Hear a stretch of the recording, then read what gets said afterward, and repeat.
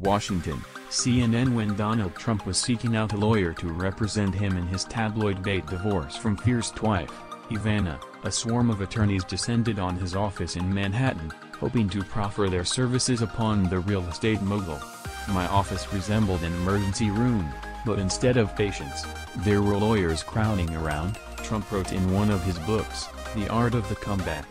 The lawyers, who Trump claimed were meeting out their services free of charge, each offered their own take on a legal strategy. No one satisfied me, Trump wrote. Now, as president, Trump is looking for ways to best to confront the multiple investigations into Russia's election year meddling, and is looking, again, to his lawyers. Loyalty first in some ways, Trump's approach to legal representation hasn't changed much in the two and a half decades since he was divorcing Ivana. People who have worked with him, then and now, say it's an I'm right you're wrong method, honed over years of different litigation fights, that places loyalty and bulldoggedness over nearly anything else. For lawyers he likes, Trump offers the world, trips to Mar-a-Lago, invites to rooftop parties, and, if they're successful, handsome compensation. But for lawyers he views as insufficiently aggressive or overly cautious, he's quick to part ways, according to people who have worked with him. Jay Goldberg is a lawyer who represented Trump in his first divorce and has remained a close friend for decades. All he wanted from a lawyer, Goldberg says now, is tell me how it can be done, not how it can't be done. As he gathers his legal team in the Oval Office, Trump has sought multiple viewpoints on how best to proceed in what all agree will be a prolonged battle against potential accusations of wrongdoing related to Russia. He's adopted some of his team's recommendations, sources close to the situation say, but discarded others. His driving focus, say people close to the president, batting back media reports about the ongoing investigations, some of which have driven Trump into rages that few of his own staff members can break. Leading the effort is Marc Kasowitz, Trump's longtime personal lawyer, who regularly charges clients $1,500 per hour for his services. His firm's previous tasks for the president have included filing defamation suits against a biographer who allegedly understated Trump's wealth, legal proceedings to keep Trump's divorce record sealed, and intricate bond restructuring proceedings for Trump's casino properties in Atlantic City, New Jersey. The defamation suit was dismissed. Trump and Kasowitz have been meeting several times a week, people familiar with the situation said, mainly in the Oval Office.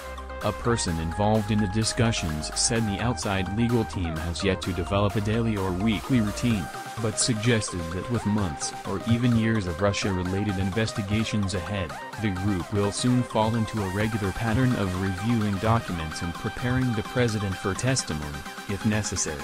At one point, Kasowitz considered moving into office space inside the White House complex, potentially in the Eisenhower Executive Office building, for more convenient access to Trump, according to two people familiar with the team's operations. But that idea has largely been put aside, according to these sources.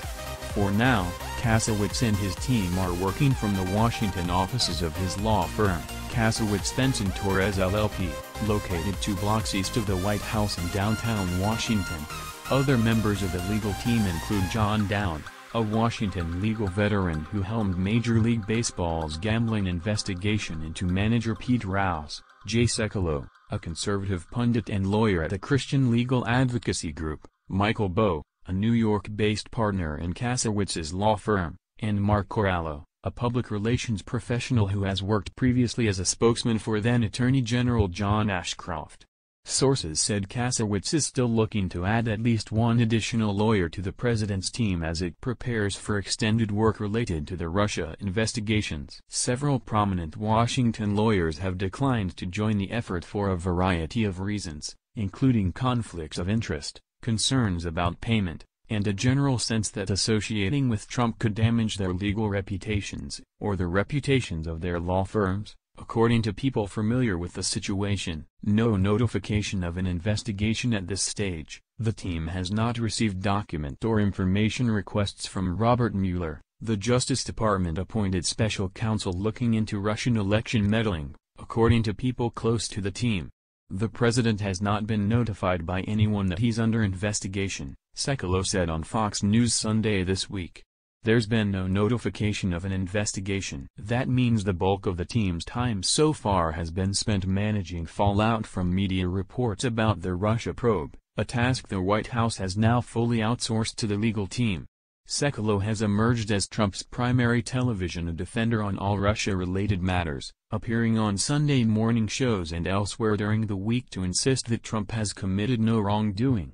His arguments have veered recently into accusations against fired FBI Director James Comey, who he suggested this week should be looked at by a grand jury for releasing a memo about his conversation with Trump to the media. It's that kind of aggressive approach which Trump for decades has sought out, and rewarded, in his legal teams, and is insisting upon this time around. When Sekulow stumbled during an appearance on Fox News Sunday and said, twice, that Trump was under investigation, Despite his insistence on other programs that the president is not being probed, he reappeared the next morning on Fox and Friends to clear up the statement. Trump himself encouraged his Twitter followers to tune in, a sign of how closely he's become involved in his own defense. He deleted the tweet shortly after. Trump's legal collective doesn't believe there's a historic model to follow in their current assignment, according to people close to the team. Previous attempts to defend U.S. presidents from legal troubles, including Bill Clinton, came before the age of social media, one source pointed out, meaning there's little precedent for Trump's team to follow as it navigates the president's own penchant for firing off Twitter diatribes about the investigations. According to people familiar with their conversations, Trump is extremely comfortable speaking with Kasowitz given their decades-long history. But he's not shy about flouting some of the recommendations that Kasowitz has delivered, namely, that he not tweet about the Russia investigation. Trump has told Kasowitz that he's not likely to cease the tweeting, at least not for good, according to a person familiar with their conversations. The latest evidence came Thursday morning. By the way, if Russia was working so hard on the 2016 election, it all took place during the Obama admin. Why didn't they stop them? Trump wrote on Twitter, going on to post, why did Democratic National Committee turn down the DHS offer to protect against hacks, long prior to election? It's all a big dem hoax.